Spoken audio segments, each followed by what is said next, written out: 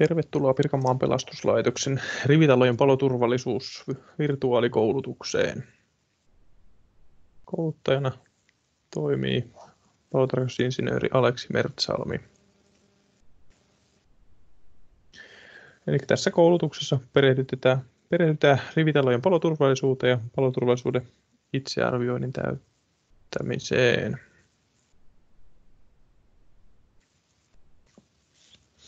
Ensiksi yleistä Pirkanmaan pelastuslaitoksesta.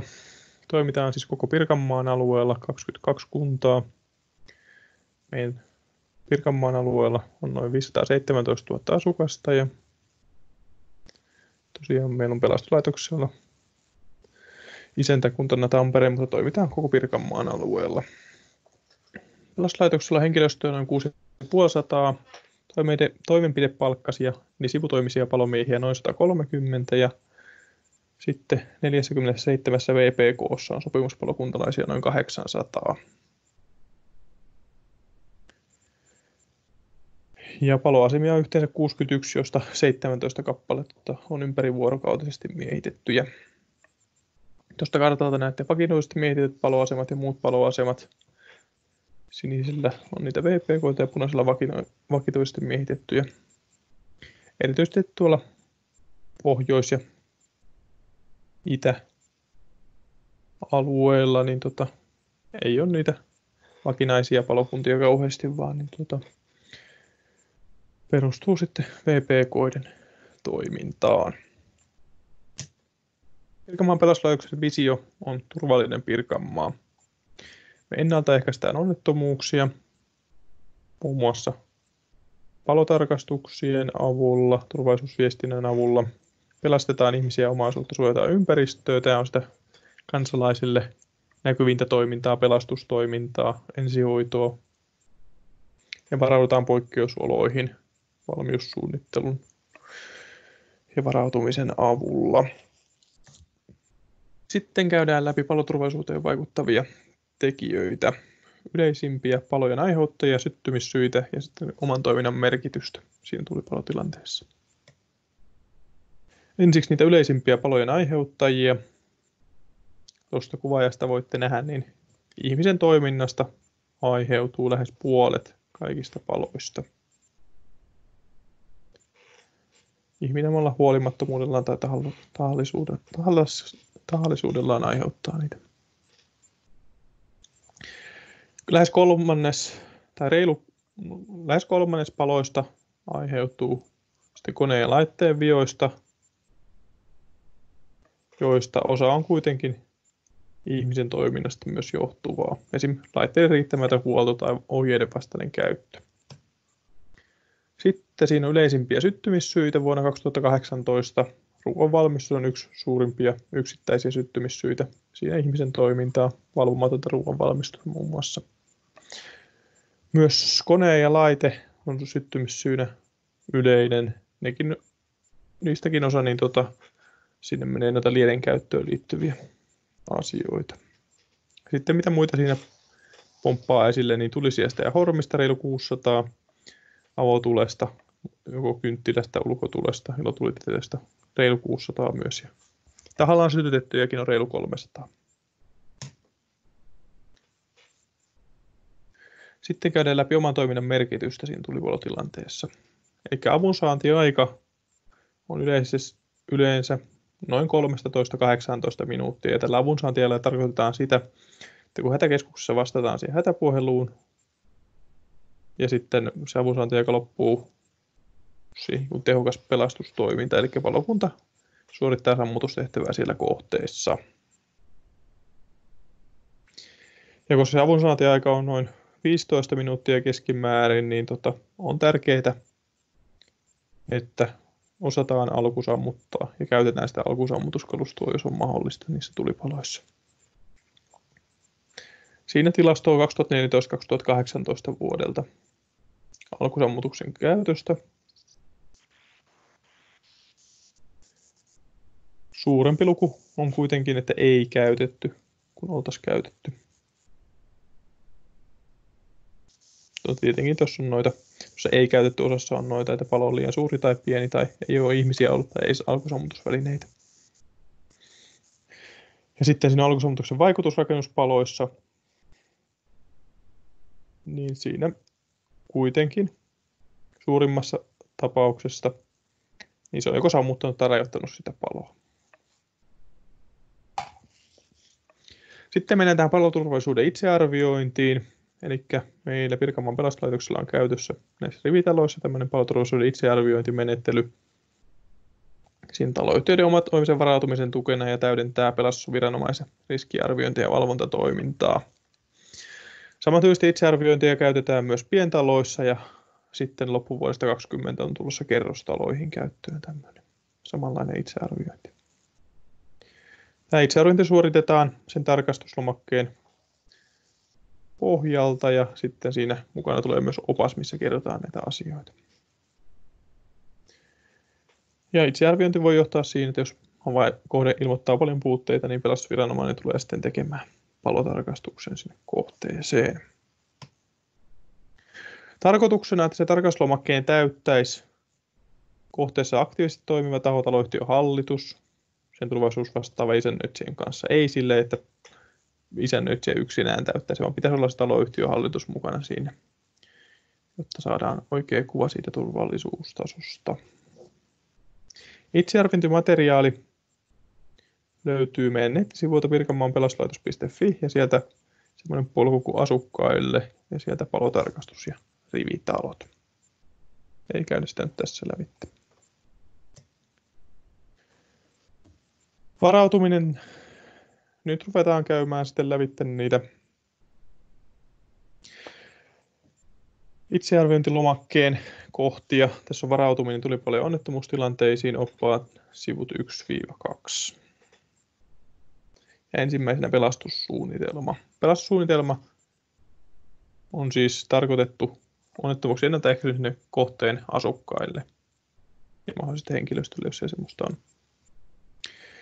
Sitä ei ole tarkoitettu pelastuslaitoksen käyttöön, niin kuin yleisesti luullaan, vaan se on taloyhtiön omaan käyttöön. Vaaditaan tosiaan asuinrakennuksia, joissa on vähintään kolme asuinhuoneistoa. Ja se tulee olla kaikkien asukkaiden ja toimijoiden tiedossa. No mitä sen pelastussuunnitelman tulisi sisältää, niin ajantasaiset yhteystiedot, isännöitsijän turvallisuusvastaavan tiedot, kiinteistöhuollon tiedot, sitten vaarojen riskien arviointi, eli kartoitetaan mitä riskejä siinä taloyhtiössä voi olla, mikä voi aiheuttaa tulipaloa, onko vesi, minkälainen riski on vesivahinko, sähkökatkos, liukka, liukastuminen talvella, ja sitten pitäisi miettiä toimenpiteitä näiden riskien ennaltaehkäisemiseksi. Kuvataan rakennuksen turvallisuusjärjestelyt, miten paloosastoinnit on järjestetty, löytyykö alkusammutuskalustoa jostain, minkälaista alkusammutuskalustoa, ja sitten myös poistumisjärjestelyt. Sitten siinä pitää olla asukkaille toimintaohjeet onnettomuuksien ennaltaehkäisemiseksi ja onnettomuus- ja vaaratilanteissa toimimiseen. Kuten miten toimitaan tulipalossa, miten soitat hätänumeron, hätänumeroon jne. Pelastussuunnitelmaa löytyy valmis pohja meidän sivuilta. Tuossa näkyy polku. Sieltä löytyy myös liiteosuus, jossa on nämä toimintaohjeet ja lisäksi sieltä löytyy pelastussuunnitelman laatimisohje, jossa kerrotaan, kuinka se pelastussuunnitelma pitäisi laatia. Sitten mennään asianmukaiseen opastukseen, joka on siellä oppaan sivuilla 4 ja 5. Eli osoitemerkinnät pitäisi olla selkeästi näkyvissä. Suositellaan, että ne olisi valaistu jotta ne näkyisi paremmin pimeälläkin. Tonttiopastetaulu on hyvä laittaa, jos on useampia rakennuksia rivitalossa, niin sitten siitä kohteeseen tulevat palo, paloauto tai ambulanssi, niin voi katsoa suoraan, missä se kohdehuoneisto on. Hälytysajoväylät tulee olla ajokelpoisia esteettömiä. Sitä pysäköintiä voidaan niin tota, rajoittaa pysäköinti kielletty merkeillä tai sitten helposti avattavilla tämmöisillä vaikka nostettavilla ajoneustopuomeilla. Pelastustiemerkintää saa käyttää vain virallisilla pelastusteillä, eli jos ne on rakennusluvapiirroksessa määritelty pelastustiet. Muuten niitä pelastustiemerkintää ei saa käyttää. Ja tietenkin onnettomuustilanteessa on tärkeää myös se ihmisen tekemä opastus, eli joku, joko hätäpuolen soittaja tai joku muu siitä tulee ohjeistamaan sitä hälytysajoneuvoa kohteeseen. Ei pelkästään luoteta siihen, että on annettu oikea osoite ja palokunta löytää se osoitteen perusteella.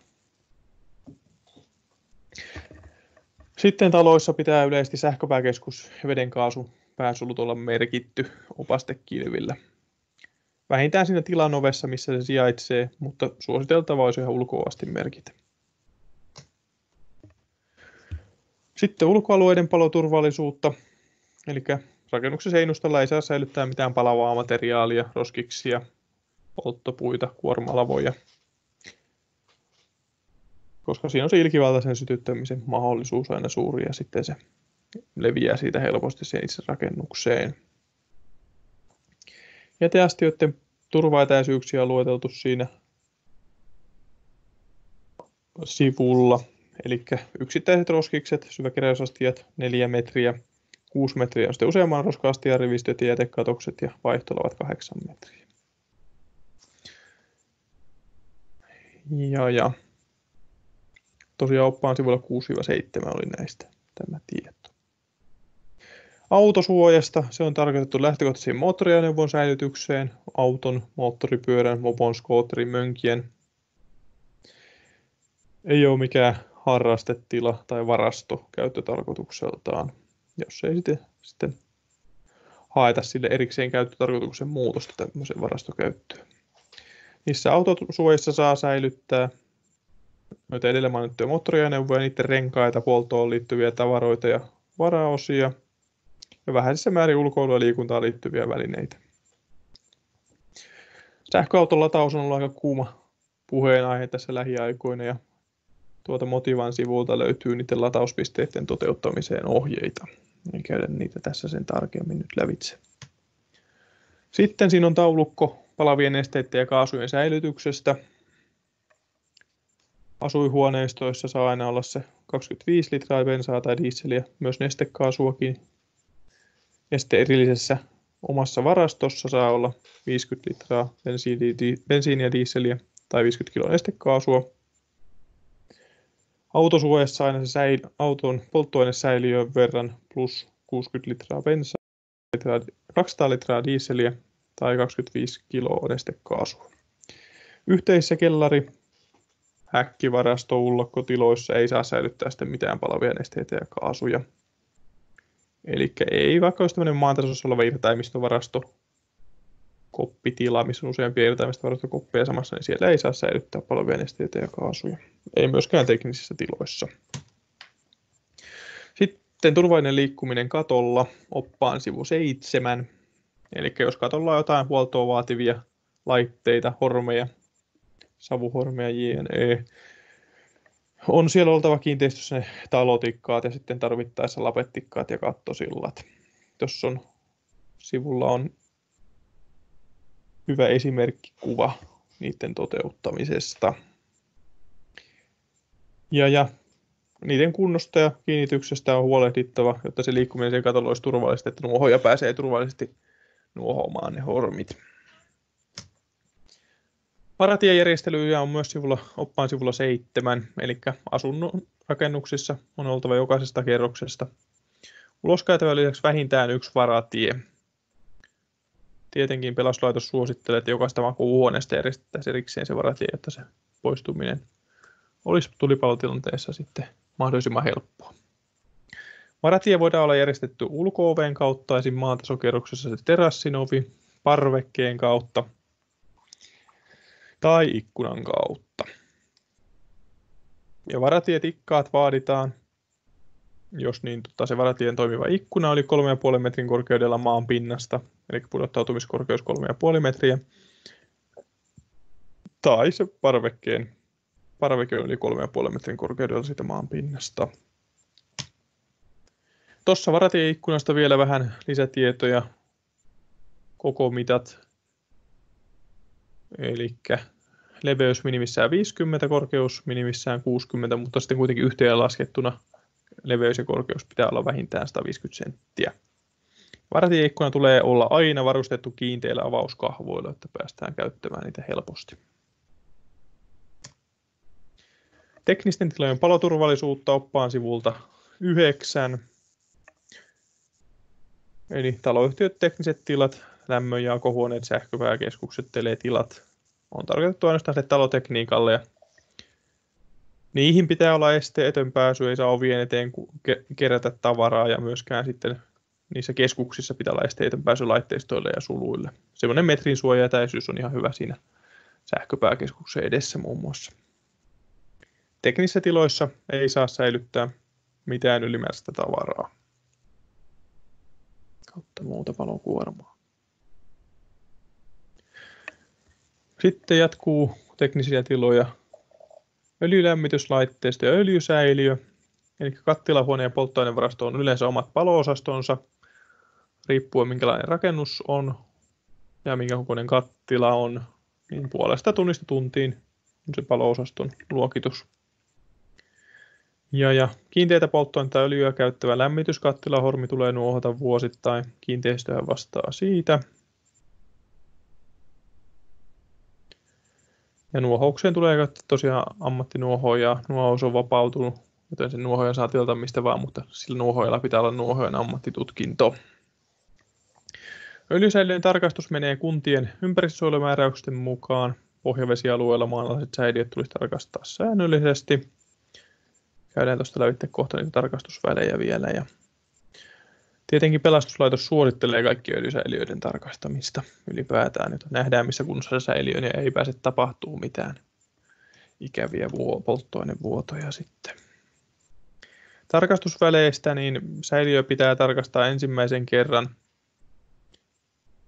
kymmenen vuoden kuluessa täytyy siitä eteenpäin säiliön kuntoluokan mukaan. A-luokan metallisäiliö viiden vuoden välein ja muu kuin metallisäiliö kymmenen vuoden välein. B-luokan säiliö kahden vuoden välein. Ja C-luokan säiliö pitää poistaa käytöstä kuuden kuukauden sisällä ja D-luokan säiliö välittömästi.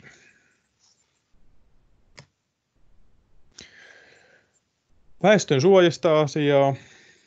Kaikissa taloissa ei niitä väestön suojia ole, mutta isommista asuntosyyhtiöistä niitä löytyy. Eli väestön suoja tulee olla käyttöön otettavissa kolmessa vuorokaudessa. Ja pelastussuunnitelmassa tulisi olla se tyhjennys- ja käyttöönottosuunnitelma, jotta osataan sitten tyhjentää se ja ottaa se käyttöön oikein. Väestönsuojan varusteet ja laitteet tulee pitää toimintakunnossa IV-koneilla. Ilmanvaihtokoneilla on yleensä vuosihuolto-ohjelma, minkä mukaan pitää huoltaa, ja sitten siellä on vanhenevaa tar- tarviketta, joditabletit, veden säilytysaine, suojanaamarien suodattimet, patterit. Kaikki pitäisi pitää ajan tasalla. Ja kymmenen vuoden välein väestönsuojalle pitää suorittaa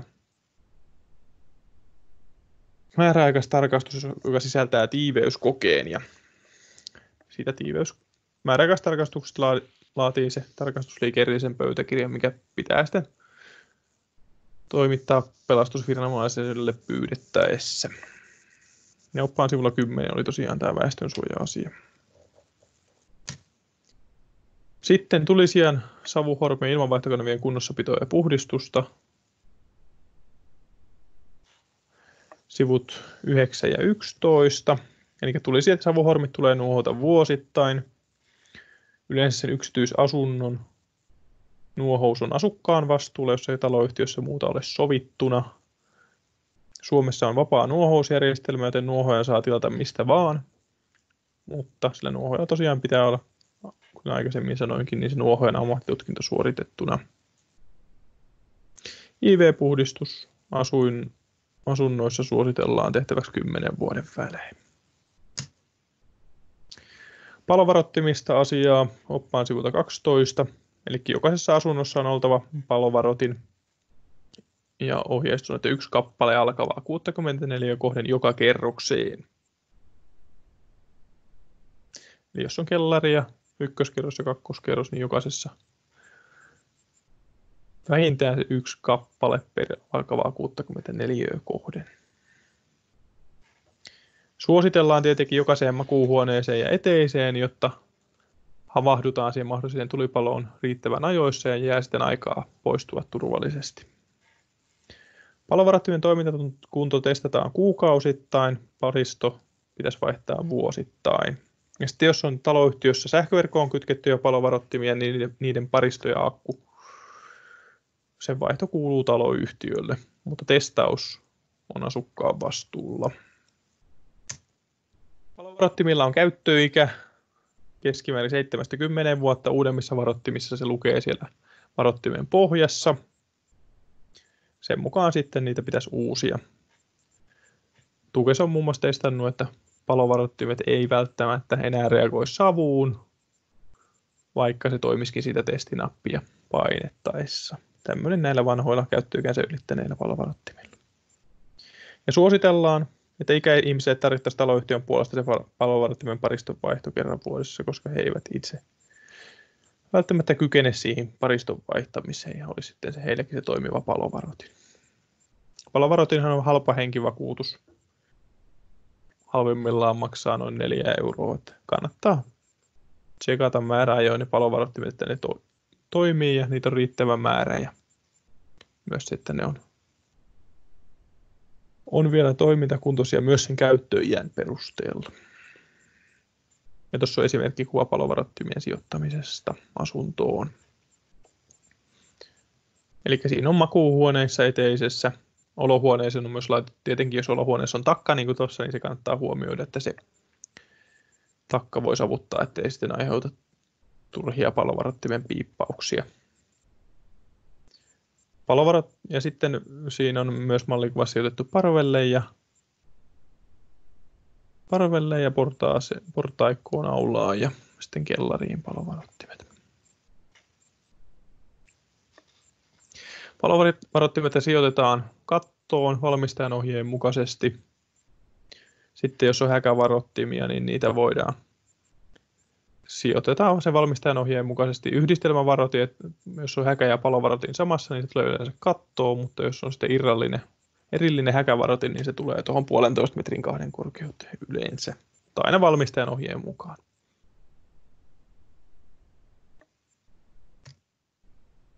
Sitten vähän palovarottimen toimintaa tulipaloissa. Siinä on vasemmalla puolella palovarottimen toiminta palokuolemissa 14-18 vuosilta